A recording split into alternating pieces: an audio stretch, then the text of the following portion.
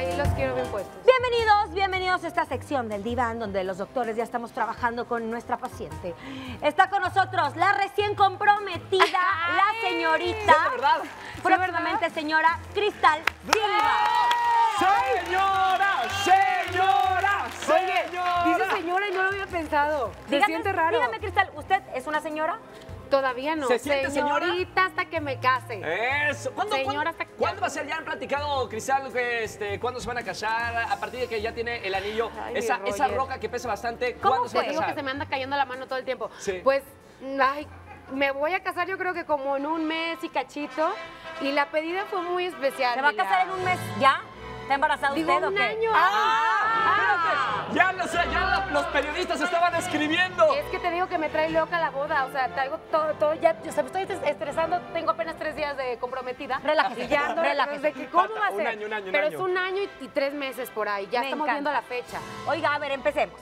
A ¿Cómo ver, fue? dígame. ¿Dónde estaba usted? ¿Qué estaba sintiendo? ¿Qué Pues estaba, estaba- tomando? Pre- ¿Presentía? ¿Presentía? No, para nada, esto lo hizo más especial, déjame te cuento. Estaba en Ciudad Victoria, Tamaulipas, Sí. en mi tierra. Y obviamente pues él esperaba que estuvieran mis amigos, la familia.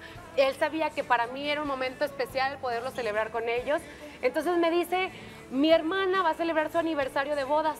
Sí. Vamos a ir, póngase bien guapa, póngáse un vestido, zapatillaza, porque quiero ¿a una foto no formal. en sexto sentido? ¿Ya presentías algo? Dile No, la llevan 15 años Te de juro novios. por mi vida, 11. por la mía y por la de todo el mundo que no, no lo. ¿qué Anótele, anótele, No, incrédula. nada, nada. Incrédula.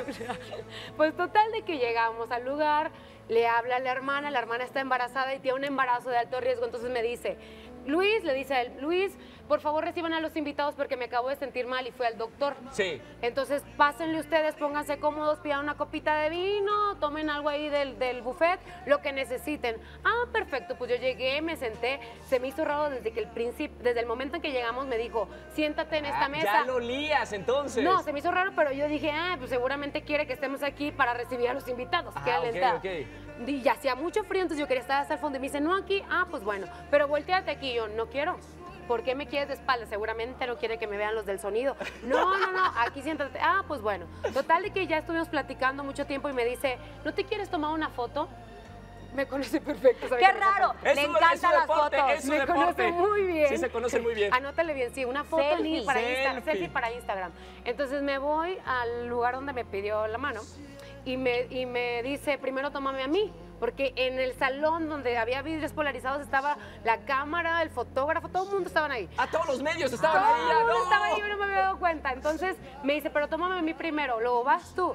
Y luego, ¿cómo ves los dos? Ven para acá. Y yo, no, espérate, quiero revisar las fotos. No, no, no, deja el celular.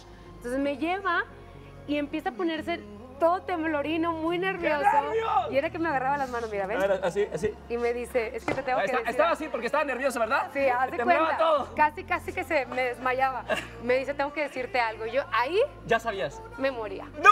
Yo dije, ¿Y luego "Ay, qué no". pasó? ¿Y luego qué pasó? Y me ¿Cómo te lo dijo? ¿Cuáles fueron las palabras exactas? ¿Te acuerdas? Ay, doctor, está más emocionado usted que ella. ¡Qué es bárbaro! como la novela de la ¡Alguien quiere boda! Oye, no, se puso muy nervioso y él tenía un discurso, ya sabes, todo bien planeado. Tenía casi, casi que. ¿No tenía prompter? Así te, ¿no? No, le faltó el prompter, digo yo. ¿Qué pasó? Ahí faltó señor de la producción. Pero bueno, total de que solo me dijo lo que tenía que decir. ¿Te quieres casar conmigo? Se hincó, se sacó la cajita, se hincó. Y yo estaba en shock. Yo decía, Dios mío, ¿dónde están todos? Porque, como se los dije, sabía que tenía que estar mi familia y mis amigas. Claro. Entonces volteaba a todos lados, no veía a nadie. Tenía la canción de Ricardo Montaner que amo, la de Bésame la boca con tus lágrimas de risa. Ay, qué bonito. Entonces yo estaba, no, no, no, es en serio. Pone la pirotecnia, ya sabes. ¿Y el sí, el, el emoción. sí llegó de inmediato o lo pensaste? Me tardé como cinco minutos. ¿Cómo crees? Después de 15 Eran años muchas- de novios, eran ¿cómo? muchas emociones, eran muchas emociones. Estaba que quería llorar, pero que quería brincar de la emoción. Obvio, lo abrazo y me dice, entonces todavía sigue hincado. Llevamos cinco minutos esperando. Yo, sí, claro que sí, o sea, obvio sí. Ay, que sabe una cosa, señorita Cristal. Lo bueno es que la vemos todos los días en Venga la Alegría para que siga compartiendo estos detalles tan bonitos que nos vuelven a emocionar. Usted está muy sana y ¿sabe qué? Esta felicidad la contagia. Mira, ¡Que venga la boda!